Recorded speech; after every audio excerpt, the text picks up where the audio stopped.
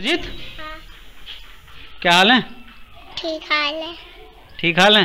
हाँ। तो क्या परेशानी कोई परेशानी है कुछ तुझे? हाँ। क्या परेशानी है?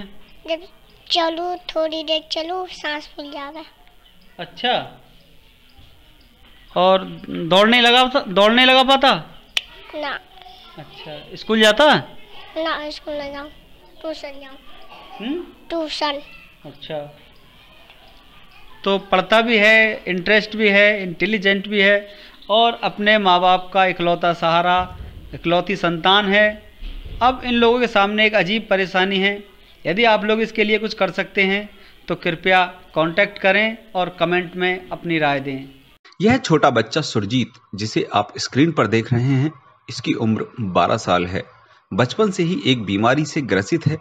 ज़्यादा देर तक और तेज चलने में असमर्थ है। ऐसा करने पर सांस फूल जाती है और शरीर नीला पड़ जाता है। इसी कारण कोई स्कूल भी उसे अपने यहाँ एडमिशन देने की जहमत नहीं उठा पाता। दरअसल सुरजीत के दिल में छेद है, जिसका पता सुरजीत के माता पिता को बचपन में ही चल चुका था, जिसको लेकर सुरजीत के माता पिता कई बड़े बड़े अस्पतालों में सुरजीत का इलाज करा चुके हैं और डॉक्टर से परामर्श कर चुके हैं।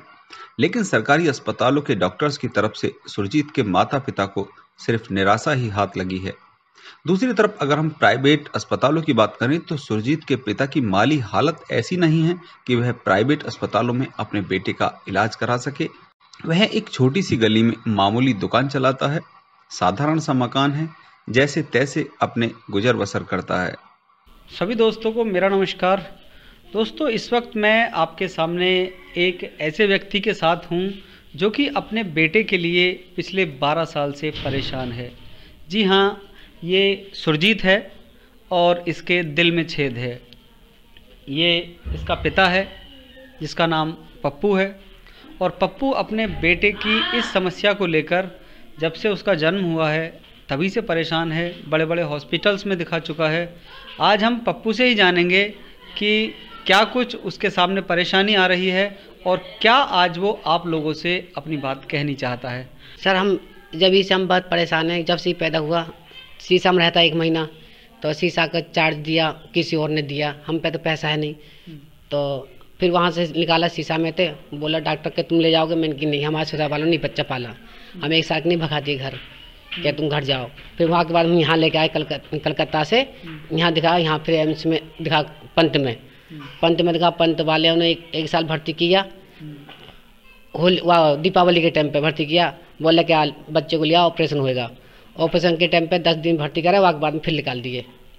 अच्छा। हाँ फिर तो कहते क्या है डॉक्टर? मतलब इसे ये परेशानी कब से आ रही थी इसको सर बच्चा पनते ही आई है क्योंकि जब से पैदा हुआ जब से ही परेशान है। जब से जब से तो डॉक्टरों को मालूम था इसे क्या परेशानी है? डॉक्टर को मालूम है नो कहें कि हमारे बस की नहीं है दिल में। महँगी साहब डॉक्टर साहब इसमें दिल में छेद और तो कोई परेशानी नहीं है। बोला इसकी आयु कम है और ऐसे ऐसे बात है। हमारे बस की नहीं है। तो तुमने बताया था कि तुम किसी हॉस्पिटल में गए थे वहाँ पैसे ज़्यादा की मांग की थी कि इसके खर्चा ज़्यादा आएगा इलाज में? इस तरह की कोई बात हुई थी? ना पैसा तो हम तो कोई मांगा नहीं किसी ने पर नो हमारे बस की नहीं है। नहीं कह रहा हमारे बस की नहीं मैंने कि फिर नहीं तुमने कहा था ना कि जो डॉक्टर हैं वो कहते हैं इलाज तो इसका हो जाएगा लेकिन खर्चा ज़्यादा आएगा। तो तुम्हें कैसे लगा कि खर्चा ज़्यादा आएगा? और डॉक्टर के प्राइवेट वाले के ज़्यादा खर्चा आएगा। तो सरकारी वाले बोले नहीं हम थे बोले कि तो तुम- प्राइवेट में किसी डॉक्टर से बात की थी? ना प्राइवेट में किसी तरह बात करी। पंत वाले से बात करी पंत वाला बोला कि जो एक डॉक्टर था का नाम है डॉक्टर सत्संगी। हाँ। उसके हाथ में केस है। वो डॉक्टर सत्संगी रिटायरमेंट हो गया। तो डॉक्टर कुछ वो बेटा भटोना जानता है उसको। वो डॉक्टर जानता है। तो वो वो बोला आज भर्ती करा दूँगा कल करा दूँगा। भर्ती करवा दिया फिर भी बात कैंसिल हो गई। वो डॉक्टर बोला कि मेरे पास केस नहीं है इसका जिसके पास केस है वो इलाज करेगा। उन्हें निकाल दिए।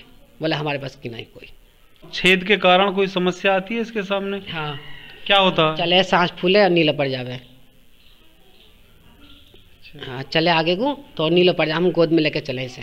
हम्म, हम्म। बच्चों को पढ़ने के नहीं दे मास्टर लोग ने कहे कि हमारे बस की ना हम नहीं पढ़ाएँगे इसको। कुछ हो जाएगा तो तुम हमसे बच्चा ले लोगे। मैंने की नहीं ये तो भगवान के हाथ में। तो बोला हम पढ़ाएँगे नहीं। कई जगह कई हमने पढ़ा दो बच्चे को, घंटा दो नहीं हम नहीं पढ़ाएँगे, मना कर देते हैं। तो इस हमने हम इसको ट्यूशन लगवा दिया, क्योंकि कुछ मेल पढ़ लेगा। इसी वजह बगल में जाता है ट्यूशन पढ़ने, वहाँ ट्यूशन लगवा रखा है इसका। अब बारह साल के बच्चा को क्या करें? उसी पे तो हमने किया पढ़ाने की ट्यूशन के लिए। स्कूल में कोई लेता नहीं, मने करें। सरकारी मने कर दें, प्राइवेट मने कर दें। तो दोस्तों, लगभग 12 साल का समय बीत चुका है इस बच्चे के जन्म को और उसके बाद में इनके यहाँ कोई और संतान उत्पत्ति नहीं हो पाई है और एक यही बच्चा इनके पास है और इसके दिल में छेद है। आप देख सकते हैं 12 साल के हिसाब से इसकी लंबाई जो होनी चाहिए, ग्रोथ नहीं है इस बच्चे की और इसके दिल में छेद है, जिस कारण से इसके माँ बाप दुखी रहते हैं, इस बच्चे को लेकर चिंतित रहते हैं। डॉक्टरों ने डॉक्टरों से बात कर चुके हैं। अब प्राइवेट में क्या व्यवस्था है दिल के छेद की समस्या को लेकर वो मैं तो नहीं जानता। लेकिन जो बता रहा है पप्पू कि इसने सरकारी डॉक्टरों से बात की है और उनका कहना है कि हम इलाज करने में असमर्थ हैं। तो पप्पू प्राइवेट डॉक्टर से बात नहीं की इस बारे में कभी? प्राइवेट डॉक्टर से बात ना करी पर पैसा नहीं हमारे पास कहाँ से बात करेंगे? नहीं तो पहले पूछना तो चाहिए ना किसी ज़रिए से कि इसका कितना इलाज में खर्चा आएगा कैसे इसकी परेशानी दूर होगी? नहीं मैंने किसी से पूछा भी नहीं। क्योंकि प्राइवेट वाले में बात न कौन ना करी क्योंकि हमारे पैसा नहीं कुछ बजट नहीं तो फिर फ़ायदा क्या? बिना वजह बात करने थे। पंत में दिखाया एम्स में दिखाया एम्स में दिखा रहे हैं। अब भी एम्स में दिखा रहे हैं एम्स वाले भी मैंने करे कि हमारे बस की नहीं है। हम्म। और जो का नाम है डॉक्टर वो है राकेश शर्मा। डॉक्टर राकेश शर्मा है वो मत करें वो भी कह मैं चलो देखता हूँ क्या क्या वो एक डॉक्टर उसके हाथ में केस है। वो भी मने करें कि मेरे बस की नहीं है। एक डॉक्टर का नाम भूल रहा हूँ मैं। और दो राकेश शर्मा वो मदद करते हैं। तो बच्चे को लड़का को चिंता रहती है बच्चे को लेकर? चिंता रहे वैसा लाइन लगाना पड़े। काफ़ी टाइम लगा फिर भी मैंने तो क्या कहते हैं ये दिल का छेद बंद हो सकता है भर सकता है क्या हो सकता है मैं हाथ कहते हैं भर जाएगा पर हमारे बस की नहीं है। कहीं और जी के दिखाओ। फिर कहाँ जा दिखाने? किसको दिखा मैं? बताइए। उसी बात हम परेशान हैं फिर हमने यही छोड़ दिया। अब फिर दो को कोरोना के चक्कर में फंस गए फिर दोबारा अब जाता मैं। अब जाता ये जो नरेश मेंड नरेश ये मेडिकल में रहता है। ये भी बोला कि एक बार वो कई बोल और जो समस्या दूर कर दे मैं। नहीं तो भैया पंत वाले तैसी मने कर रहे हैं। तो दोस्तों अब पप्पू के और उसके परिवार के सामने ये एक समस्या है। कि वो क्या करें। इसका कहना है कि प्राइवेट में डॉक्टर्स के सामने जाने की हिम्मत नहीं है, क्योंकि पैसा इसके पास नहीं है। दूसरी बात, जब सरकारी डॉक्टर्स एम्स के डॉक्टर्स ही हाथ झाड़ रहे हैं तो ऐसे में क्या करें? तो इसने अपने माध्यम से आपको अपनी व्यथा सुनाई।